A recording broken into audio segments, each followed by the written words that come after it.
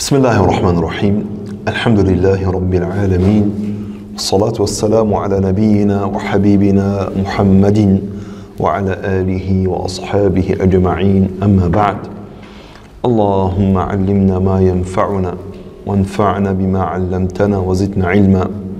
رب اشرح لي صدري ويسر لي أمري واحلل عقدة من لساني يفقه قولي. ثم أما بعد Assalamu alaikum wa rahmatullahi wa barakatuh. Meine lieben Geschwister, ich heiße euch alle herzlich willkommen zu unserem heutigen Unterricht, wo wir inshallah ta'ala unsere Reihe fortführen wollen, die jetzt eigentlich schon fast am Ende ist. Und zwar die Reihe über die Zeichen des jüngsten Tages. Und wir hatten letzte Woche sehr ausführlich noch einmal über eines der großen Zeichen gesprochen gehabt, und zwar dass die Sonne vor dem jüngsten Tag im Westen aufgehen wird, anstelle dass sie im Osten aufgehen wird. Und dass dies zu den großen Zeichen des jüngsten Tages gehört.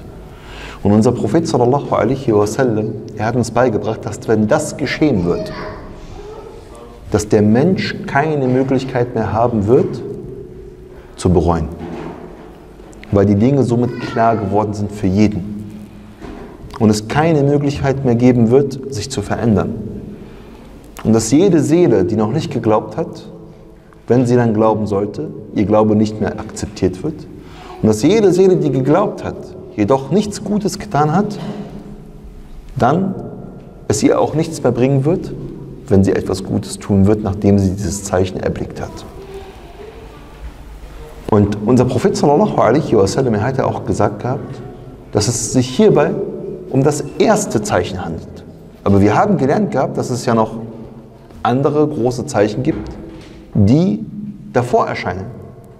Und wir haben gesagt gehabt, der Messiah al-Dajjal, Isa, Jesus, der herabkommen wird und Ya'juj und Ma'juj, Gog und Magog. Alles Zeichen, die vor dem Erscheinen oder dem Hervortreten der Sonne im Westen erscheinen werden. Wir haben auch darauf geantwortet gehabt, dass es hier kein Widerspruch ist, sondern dass der Prophet wasallam meinte mit dem ersten Zeichen, dass es sich hierbei um das erste Zeichen handeln wird, welches dass es hierbei um das erste Zeichen handeln wird, bei dem die physikalischen Gesetze in diesem Universum komplett ausgesetzt werden und sie nicht mehr existieren. Plötzlich geht die Sonne an dem Ort auf, wo sie eigentlich normalerweise untergeht.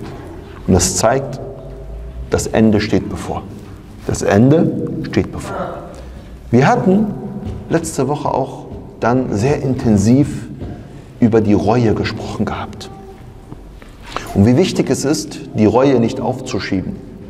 Und welche Voraussetzungen es für die Reue gibt. Und dass wenn diese Voraussetzungen gegeben sind, Allah unsere Reue akzeptieren und annehmen wird. Und wir hatten drei Voraussetzungen genannt gehabt, die gegeben sein müssen, damit Allah unsere Reue akzeptiert. Welche drei Voraussetzungen sind dies? Dass man mit der Sünde aufhört, dass man sie unterlässt. Nummer eins. Nummer zwei,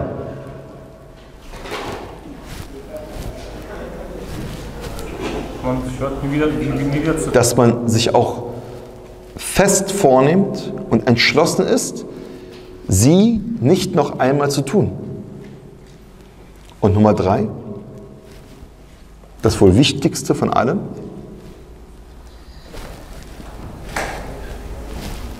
ja? Ja, das kommt gleich auch noch. Das kann sozusagen die, die Taube, die Reue, nochmal zu einer ganz besonderen Reue machen. Aber die Nummer drei ist ganz wichtig, hat etwas mit dem Herzen zu tun auch. Und zwar sagt der Prophet sallallahu alaihi wasallam, At-Taubatu an-Nadam. Wahre Taube, wahre Reue ist was, das ich bedauere. Also ich muss eine Art Trauer, Bedauern in meinem Herzen verspüren. Ich muss bereuen, was ich da getan habe. Ich kann mich nicht darüber freuen und sagen, oh, was toll gewesen, hat Spaß gemacht, eine gute Erfahrung gewesen. Nein, es muss mir wehtun in meinem Herzen, dass ich das begangen habe. Und dann die Entschlossenheit, es nicht noch einmal zu tun. Und natürlich, dass ich sofort mit dieser Sache aufhöre. Erst dann handelt es sich auch wirklich um eine Taube. Und wir hatten noch eine vierte Voraussetzung hinzugefügt gehabt, und zwar bei Sünden, wo ich anderen Menschen Unrecht getan habe. Dass Allah Ta'ala mir das nicht einfach vergibt, sondern dass ich versuchen muss, das dann wieder gut zu machen.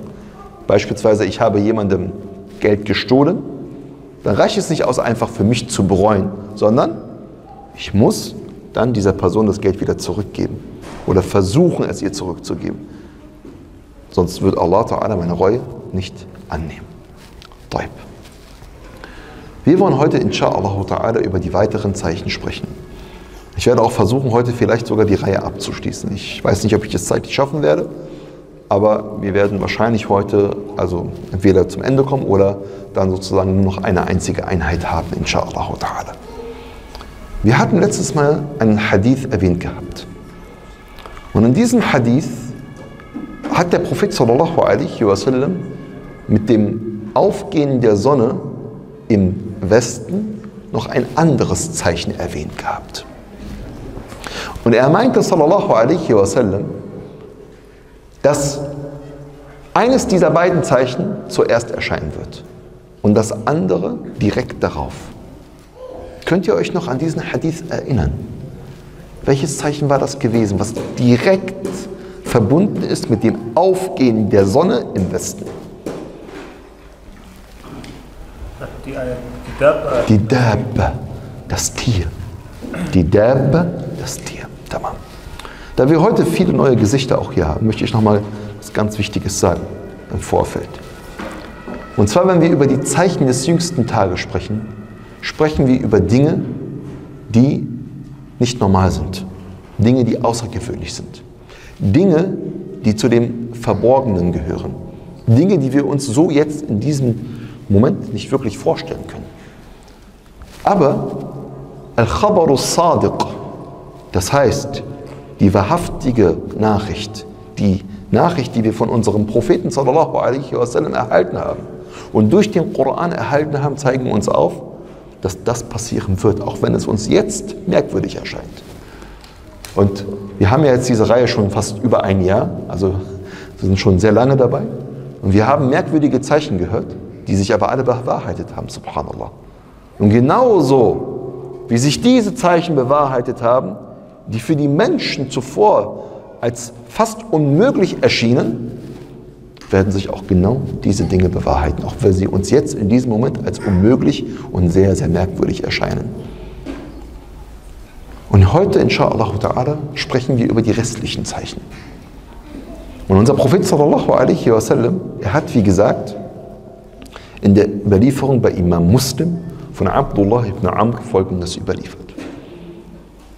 Und wenn wir von Imam Muslim sprechen, wir heute auch viele haben, die zum ersten Mal da sind, Imam Muslim ist einer der großen Hadith-Gelehrten, der die zweitwichtigste Hadith-Sammlung, das heißt Überlieferungssammlung von Überlieferungen über unseren Propheten Muhammad sallallahu alaihi wasallam gesammelt hat. Imam Muslim ibn Hajjaj. Was ist die wichtigste Sammlung, die authentische Sammlung, die wir haben als Muslime? Sahih al-Bukhari. Und Sahih al-Bukhari heißt, dass es sich um authentische Überlieferung handelt von Imam al-Bukhari. Und die zweitauthentischste ist die von Imam Muslim. Und Imam Muslim überliefert von Abdullah ibn Amr, was der Prophet sallallahu alaihi wasallam gesagt hat. Das erste der Zeichen der Stunde ist, dass die Sonne an ihrem Untergangsort, das heißt im Westen, aufgehen wird. أول أشراط الساعة طلوع الشمس من مغربها und wir haben ja gerade erklärt gehabt, was damit gemeint ist, dass es das erste Zeichen ist, wo die physikalischen Gesetze außer Kraft gesetzt werden, wo sich die Welt, wie wir sie kennen, das Universum, wie wir es kennen, komplett auf den Kopf stellen wird. Und dann sagt er, sallallahu alaihi wasallam, und das Erscheinen oder das Herauskommen der Dabba. Ala nasi duha. Das kommt heraus, Al-Dabba kommt heraus, und zwar vormittags. Es erscheint plötzlich den Menschen, ganz plötzlich, vormittags. Was ist Adab eigentlich? Was bedeutet dieses Wort Adab? Adab ist eigentlich ursprünglich ein Tier, was vier Beine hat. Wird dann aber im Koran verwendet für jedes Lebewesen auf der Erde. Für jedes Lebewesen auf der Erde. وَمَا مِن دَابَّةٍ فِي الْأَرْضِ إِلَّا عَلَى اللَّهِ رِزْقُهَا Es gibt keine Dab, kein Lebewesen auf der Erde.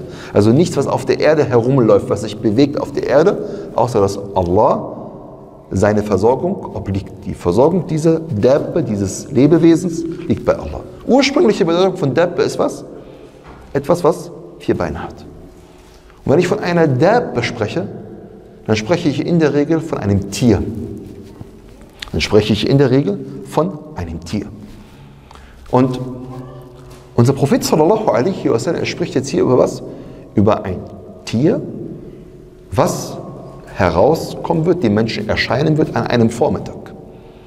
Und dann sagt der Prophet sallallahu alaihi wasallam, فأيتهما كانت قبل صاحبتها فالأخرى على إثرها قريبا Welches dieser Zeichen auch immer zuerst erscheinen mag oder wird, das andere wird direkt darauf folgen.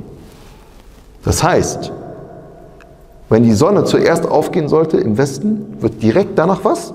Noch am selben Tag das Tier erscheinen. Oder umgekehrt. Wobei ein Großteil der Gelehrten sagt, die Sonne wird zuerst erscheinen und dann das Tier. Wir werden auch gleich erklären, warum. Das macht nämlich auch, ist auch in gewisser Weise logisch. Weil nämlich dieses Tier eine ganz konkrete Aufgabe hat, die wir gleich inshallah ta'ala erfahren werden. Gibt es Hinweise auf dieses Zeichen im Koran? Ja. Und zwar gibt es eine Ayah im Koran, in der Allah subhanahu wa ta'ala genau über dieses Zeichen spricht. Und zwar sagt Allah subhanahu wa ta'ala folgendes. وَإِذَا وَقَعَ الْقَوْلُ عَلَيْهِمْ أَخْرَجَنَا لَهُمْ دَابَّةً مِنَ الْأَرْضِ تُكَلِّمُهُمْ أَنَّ النَّاسَ كَانُوا بِآيَاتِنَا لَا يُوقِنُونَ Und wenn der Spruch über sie fällig wird, das heißt, wenn der Zeitpunkt kommt, wo das eintreten wird, was alle Religionsgründer angekündigt haben, nämlich der jüngste Tag, wo die Welt, auf der wir leben, das Universum, wie wir es kennen, enden wird. Und wenn der Spruch über sie fällig wird, bringen wir ihnen ein Tier aus der Erde hervor, das zu ihnen spricht. Dies, weil die Menschen über unsere Zeichen keine Gewissheit hegen. Allahu Akbar. Das heißt, Allah Ta'ala, er spricht ebenfalls über diese Zeichen.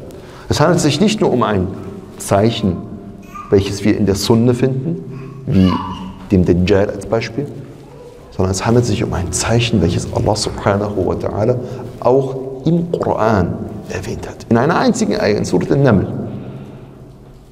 Aber es wird erwähnt im Koran. Und Allah subhanahu wa ta'ala, er zeigt auch auf, dass dieses Tier eine ganz konkrete Aufgabe hat. Wie sieht dieses Tier nun aus?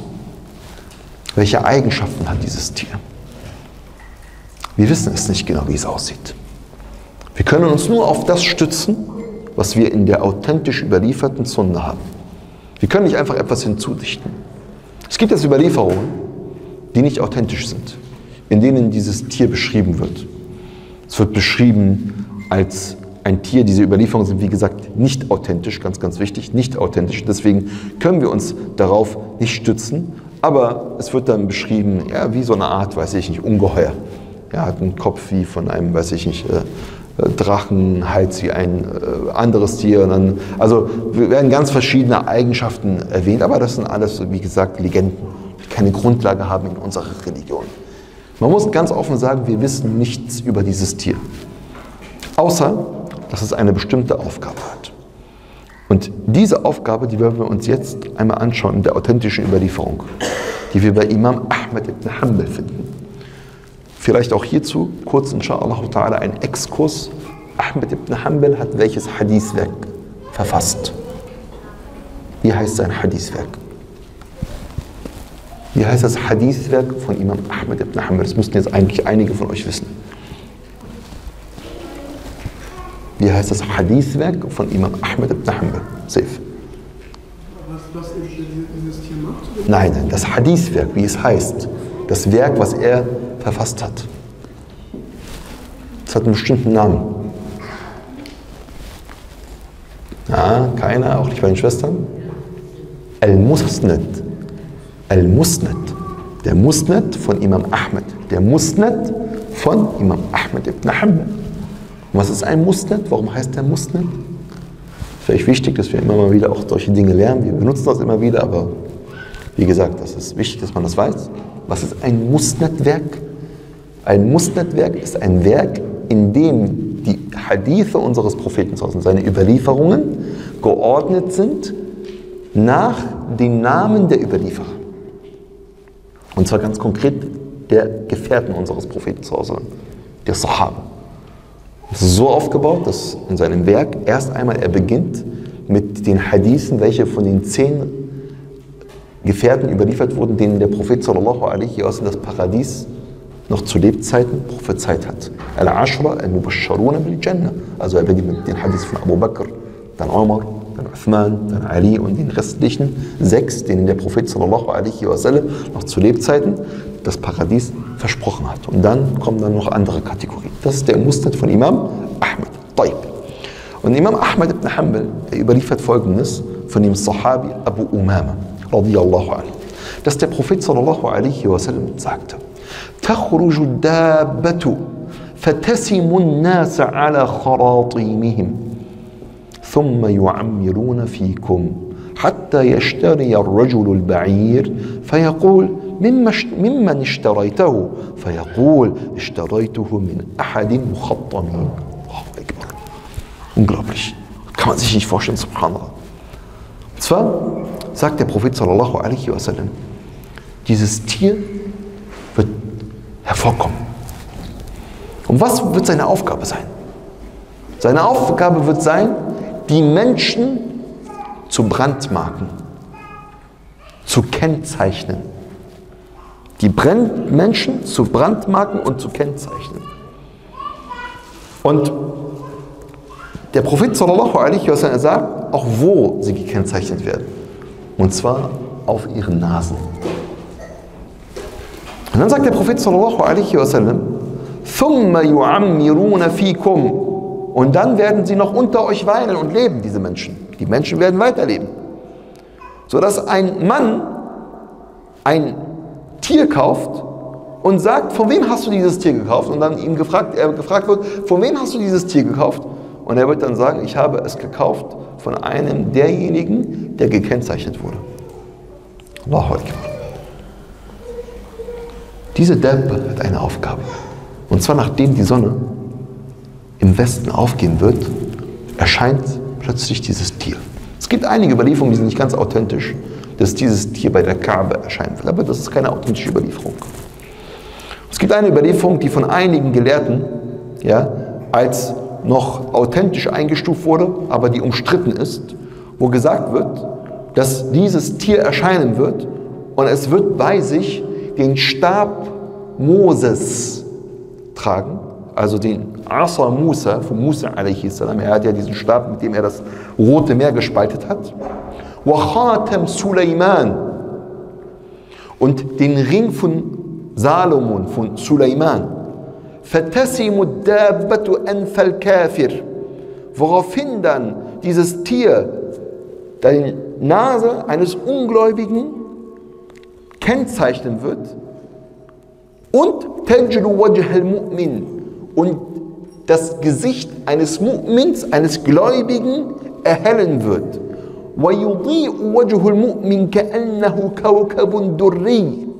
Und das Gesicht eines Mu'mins, eines Gläubigen wird plötzlich glänzen, so als wäre er ein funkelnder Stern. حتى أن أهل الخوان الواحد يجتمعون على طعامهم فيقول هذا يا مؤمن ويقول هذا يا كافر sodass sogar die Leute eines einz einer, einer Tafel, also die Leute, die an einem Tisch sitzen zum Essen, sich versammeln, sagen werden, O Gläubiger, und der andere wird sagen, O Ungläubiger. Weil jeder nicht weiß, wer gläubig ist und wer ungläubig ist.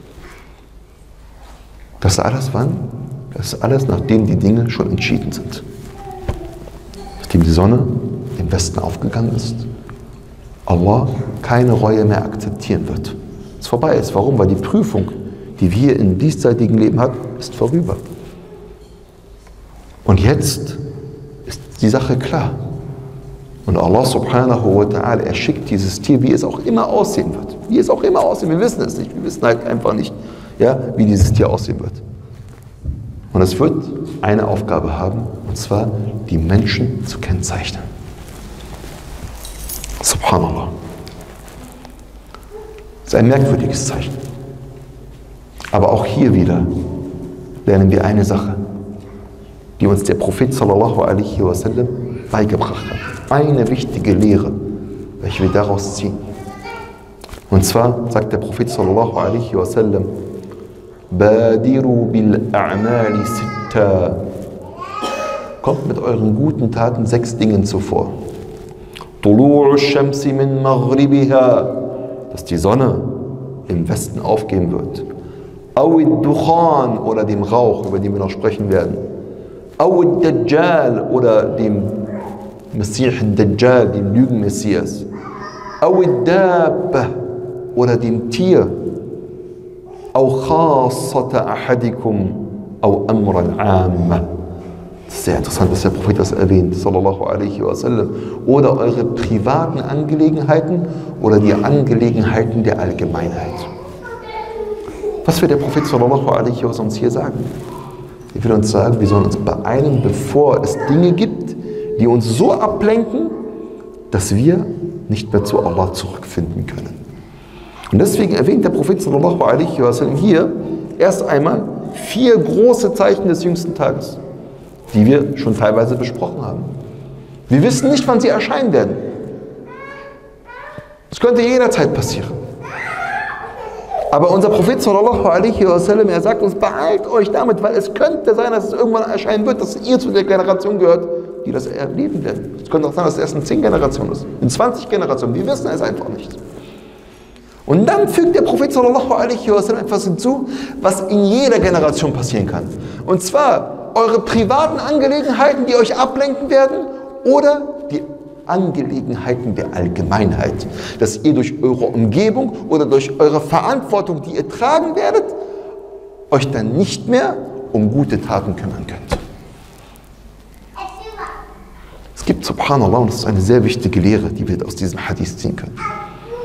Immer wieder sagen wir den Jugendlichen, nutzt eure Zeit, wo ihr noch nicht verheiratet seid.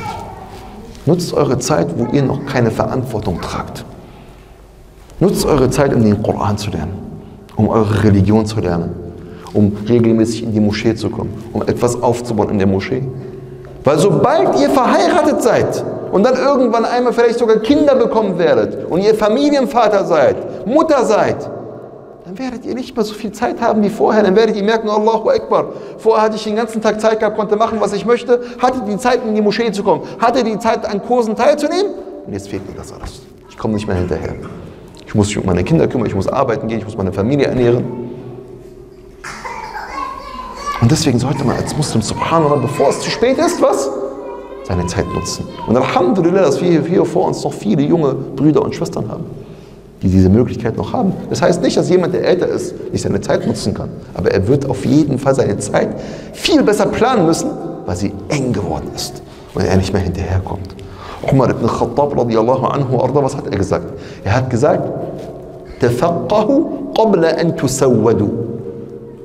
Lernt eure Religion, bevor ihr Verantwortung tragt. Weil wenn du erstmal Verantwortung trägst, dann hast du nicht mehr die Zeit. Warum haben wir beispielsweise so viele Überlieferungen von Abu Huraira, von Anas ibn Malik, von Aisha radiallahu anha, aber so wenige Überlieferungen von Abu Bakr as-Siddiq, von Umar ibn Khattab, von Ali ibn Abi Talib, obwohl sie viel mehr Zeit mit dem Propheten sallallahu alaihi wasallam verbracht haben. Was ist der Grund? Der Grund ist, Die einen hatten keine politische Erfahrung nach dem Tode des Propheten, äh, Verantwortung nach dem Tode des Propheten sallallahu und die anderen sind Kalifen gewesen. Sie hatten keine Zeit gehabt, dann zu sitzen und Hadithe zu überliefern. Und deswegen ist es so wichtig, dass der Muslim seine Zeit nutzt. Weil die Zeit, die du hast, die wird nicht noch einmal zurückkehren. Und genauso auch ist es so wichtig, dass ich zu Allah zurückkehre, bevor es zu spät ist. Weil ich nicht weiß, ob ich irgendwann einmal dann so beschäftigt sein werde, dass ich mich komplett selbst vergessen werde. Und der Tod, Krankheit, andere Dinge können einen schneller einholen, als man denkt. Und deswegen sollte ich mich immer beeilen mit den guten Dingen. Schiebe niemals eine gute Tat auf. Schiebe niemals etwas auf, was dich weiterbringt in deinem Leben. Weil du weißt nie, ob du später noch einmal dazu die Möglichkeit bekommen wirst, es zu tun. Das ist was für ein Zeichen gewesen? Das ist das Zeichen gewesen der Adab. Wie gesagt, viel mehr wissen wir nicht darüber. Vielleicht noch eine weitere Lehre, die wir daraus ziehen können. Und zwar, subhanallah, die Dabba, die macht nichts anderes, als die Menschen zu unterteilen in einen Mu'min und in einen Kafir. Die Menschen befinden sich noch in der Dunya, aber sie werden schon gekennzeichnet. Aber meine lieben Geschwister im Islam, das, was diese Dabba, dieses Tier tut, das ist eigentlich nichts anderes, als uns vor Augen zu halten, was am jüngsten Tag geschehen wird. Weil auch am jüngsten Tag werden die Menschen unterteilt in Mu'min und in Kafir.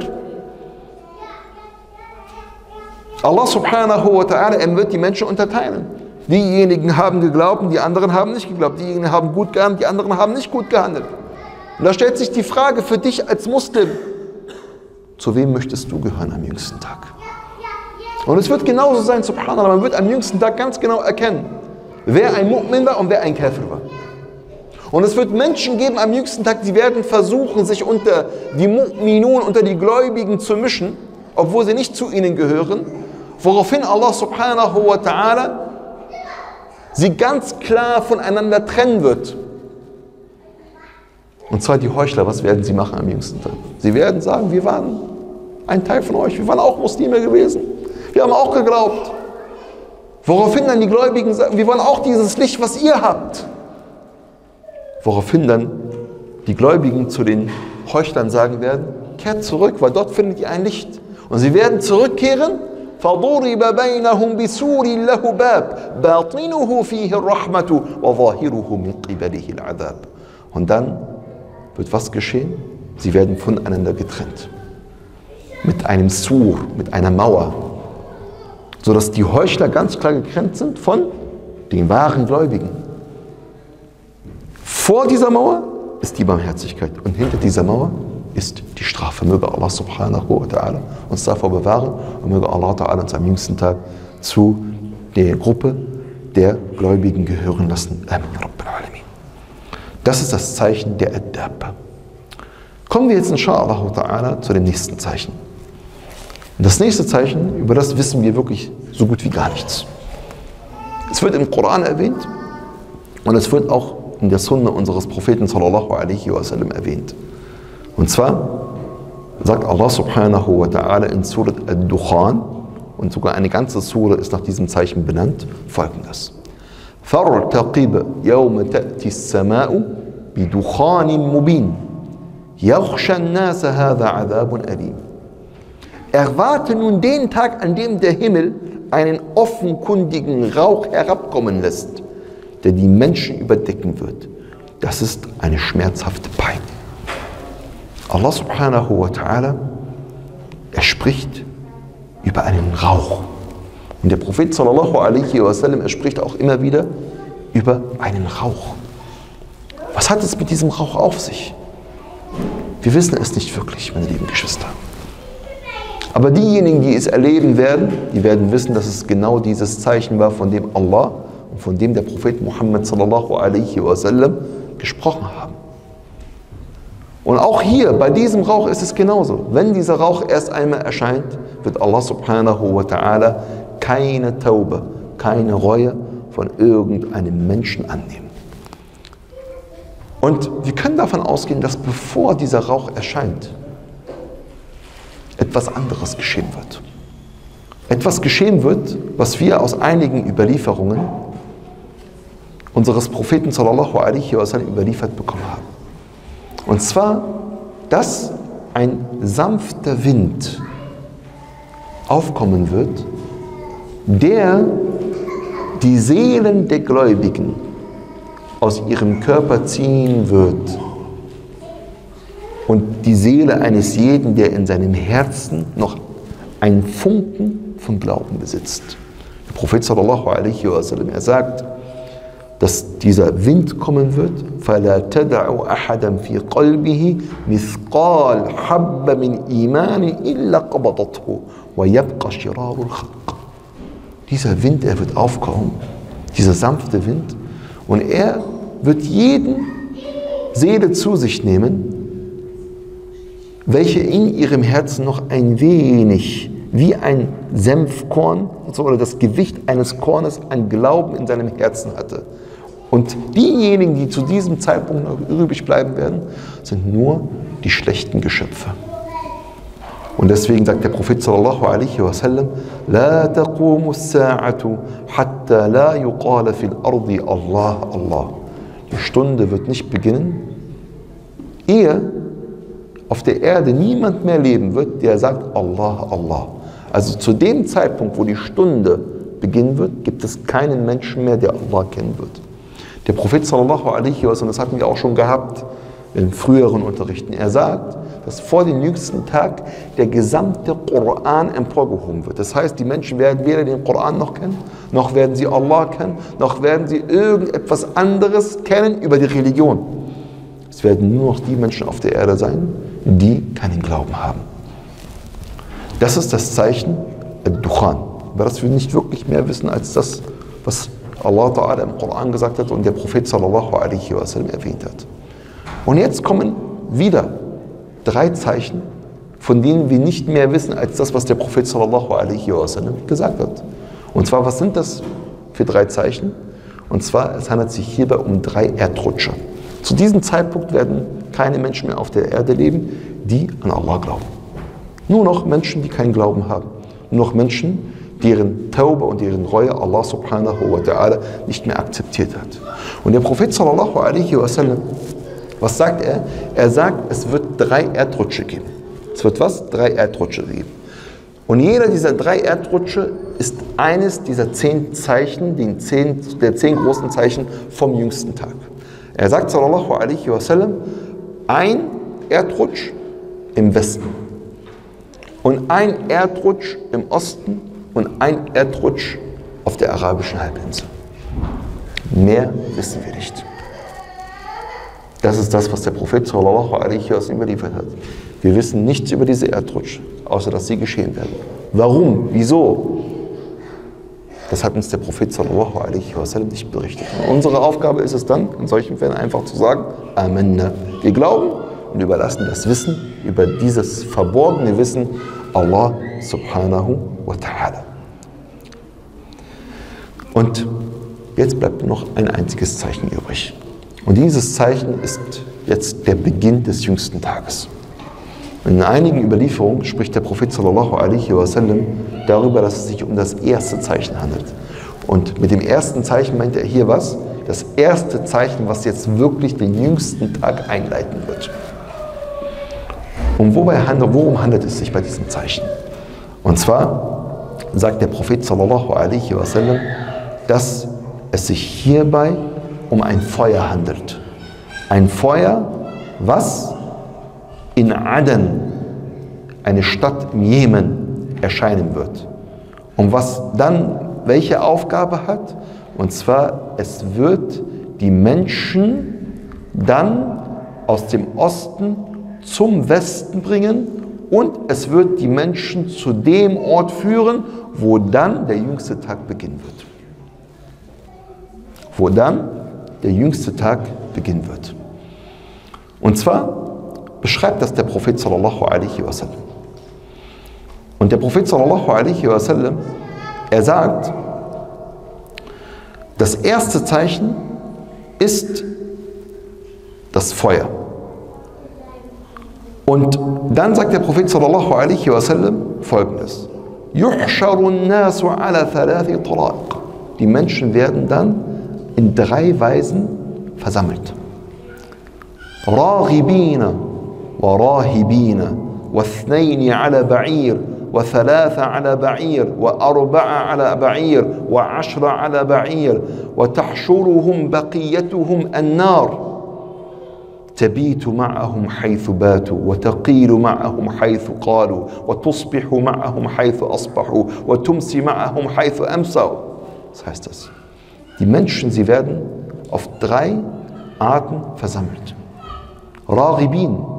Raghibin heißt, sie wollen es. Warahibin, sie sind ängstlich. Und dann sagt der Prophet sallallahu alaihi wasallam, und dann zwei auf einem Reittier, drei auf einem Reittier, vier auf einem Reittier, zehn auf einem Reittier. Und die restlichen werden versammelt durch ein Feuer, welches mit ihnen übernachtet, wo sie übernachten. Und mit ihnen den Mittagsschlaf macht, wo sie den Mittagsschlaf machen. Und mit ihnen aufwacht, wo sie aufwachen. Und mit ihnen schlafen geht, wo sie schlafen gehen und wo sie übernachten. Dieses Feuer hat nur eine Aufgabe, subhanallah, die Menschen an einen bestimmten Ort zu bringen. An dem Ort, wo dann was geschehen wird, wo dann der jüngste Tag beginnen wird. Und es gibt Überlieferungen unseres Propheten sallallahu alaihi wasallam, dass die Menschen dann an diesem Ort sein werden. Und sie werden teilweise noch mit alltäglichen Dingen beschäftigt sein werden.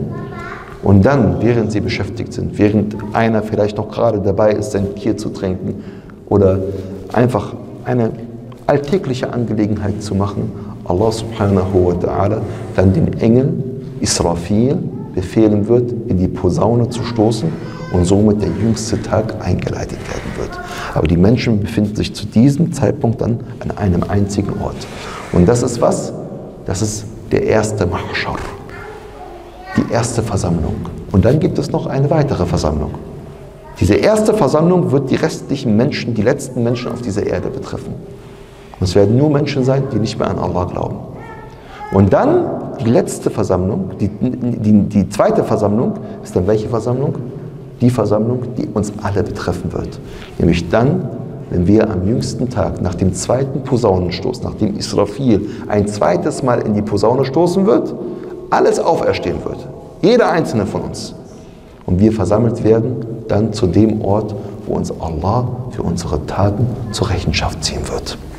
Und wir dann entweder das Paradies betreten werden oder, möge Allah uns davor bewahren, die Hölle betreten werden. Das ist dann der Mahshar, der uns alle betreffen wird und dem sich niemand, vor dem niemand fliehen kann und vor dem niemand ausgenommen ist. Nicht einmal die Propheten, nicht einmal fromme Menschen, sondern jeder Mensch wird dann Rechenschaft ablegen müssen. Ja, subhanallah, das sind sozusagen dann die letzten Zeichen, über die wir dann nicht mehr viel wissen als das, was der Prophet sallallahu alaihi wasallam uns gesagt hat. Und damit beginnt dann auch der jüngste Tag. Und der Prophet sallallahu alaihi wasallam beschreibt noch einmal in einer Überlieferung, wie die Menschen dann auferstehen werden. Und er sagt sallallahu alaihi wasallam, tuhsharuna hufaten uraten ghurla. Ihr werdet auferstehen und versammelt werden. Und wie werdet ihr auferstehen? Barfüßig, nackt und ohne und mit Vorhaut. Ghurla heißt, ihr werdet eure Vorhaut haben. Also die Männer, die bestimmt sind, werden ihre Vorhaut haben. Also du wirst wieder so auferstehen, wie du einst erschaffen worden bist, wie du einst auf die Welt gekommen bist. Und dann sagte unsere Mutter Aisha zu uns, Propheten sallallahu alaihi wasallam, Ja Rasulallah, O Gesandter Allahs, Ar-Rijalu wa Nisa'u yanzuru ba'duhum ila ba'd. O Gesandter Allahs, Männer und Frauen werden sich gegenseitig anschauen, nackt. Der Prophet sallallahu alaihi wasallam, er sagt, sagte daraufhin, Ja Aisha, O Aisha, Al-Amru ashaddu min an yahummahum dhalik. Die Angelegenheit ist viel, viel zu gewaltig, als dass sie sich darum kümmern können. Und dass man irgendwie einer Frau hinterhergucken kann oder einem Mann hinterhergucken kann, der nackt ist. Das interessiert die Leute in diesem Moment überhaupt nicht. Sondern sie sind mit sich selbst beschäftigt. Möge Allah subhanahu wa ta'ala uns diesen Tag erleichtern. Jeder von ihnen wird an jedem Tag eine Angelegenheit haben, die ihm ausreichen wird. يوم يفر المرء من أخيه an jenem Tag, an dem der Mensch vor seinem Bruder fliehen wird. وأمه وأبيه und vor seiner Mutter und seinem Vater fliehen wird. وصاحبته وبنيه und vor seiner Gefährtin, seiner Frau und seinen Kindern fliehen wird. لكل امرئ منهم يومئذ شأن يغنيه. Jeder von ihnen wird an jenem Tag eine Angelegenheit haben, die ihm ausreichen wird. Allahu Akbar, man kann sich das nicht vorstellen. Ne? Ich meine, am Ende, schaut mal, in der Dunya wäre ich bereit, mich für mein Kind zu opfern. Weil ich weiß, der Tod ist nicht das Ende. Das ist nur der Anfang, das ist nur ein Übergang in ein anderes Leben. Und ich würde bereit sein, mich für mein Kind zu opfern. Ich bin bereit, mich für eine Sache, die mich überzeugt, zu opfern. Für mein Vaterland, für meine Heimat, wie auch immer. Aber am jüngsten Tag weiß ich, es geht jetzt hier um die Ewigkeit. Es gibt kein zweites Leben mehr, es gibt keinen Übergang mehr. Es gibt nur noch jetzt was? Hölle oder Paradies. Und dementsprechend denke ich nur noch an mich selbst. Selbst mein eigenes Kind ist mir in diesem Moment egal. Warum? Weil jetzt in dieser Dunya, ja, ich, ich, ich opfere mich für mein Kind, ich habe gelebt, Alhamdulillah, ich weiß, es geht weiter nach dem Tod, es ist nicht vorbei. Und ich will, dass mein Kind noch ein bisschen lebt, deswegen bin ich bereit, mich zu opfern. Aber am jüngsten Tag, wo es dann um alles geht, habe ich keine Zeit, mich um irgendjemanden zu kümmern, sondern nur um mich selbst. Und deswegen sollten wir uns vorbereiten. Diese Zeichen, wir haben uns mit ihnen beschäftigt, damit wir erinnert werden an den jüngsten Tag. Damit wir uns bewusst werden, dass der jüngste Tag nahe ist und nicht weit ist. Sie sehen ihn als etwas Weites an, den jüngsten Tag. Aber wir sehen es als etwas sehr, sehr Nahes an. Was sind 100, 200, 1000 Jahre bei Allah? Nichts. Was sind denn 100 Jahre in einem Geschichtsbuch? Wir alle hatten Geschichte in der Schule gehabt. Was sind 100 Jahre in einem Geschichtsbuch? 100 Jahre werden in einem Geschichtsbuch auf einer Seite abgehandelt, wenn überhaupt. Ist nichts. Was ist das Leben eines Menschen im Vergleich zur Menschheitsgeschichte? Im Vergleich zum Universum? Nichts. Und dementsprechend, ja, wir denken auch, das ist ja noch lange hin. Aber für Allah Ta'ala ist es nicht lang. Und das Leben geht schneller vorüber, als wir denken. Und ehe wir uns versehen, werden wir vor Allah stehen und müssen Rechenschaft ablegen. Und deshalb sollten wir vorbereitet sein, meine lieben Geschwister. Sollten immer bereit sein für diesen Moment, wo wir zurückkehren zu unserem Schöpfer und Rechenschaft ablegen müssen für das, was wir getan haben in unserem Leben. Und Alhamdulillah, dass wir jetzt noch Zeit haben. Wir sitzen hier, wir haben uns damit beschäftigt, wir können unser Leben verändern. Wir können Gutes tun. Und solange du diese Möglichkeit hast, solltest du sie auch nutzen. Und nicht aufschieben. Ich sage, ich werde schon irgendwann mal das machen. Dieses irgendwann führt dazu, dass du es nie machen wirst. Mache es jetzt. Ändere dein Leben jetzt. Sei jetzt ein frommer Mensch, ein rechtschaffender Mensch. Und du wirst es nicht bereuen. Ganz im Gegenteil. Du wirst merken, dass das der wahre Sinn des Lebens ist. Und dass das dich erfüllen wird. Und dass das dich in deinem Leben weiterbringen wird.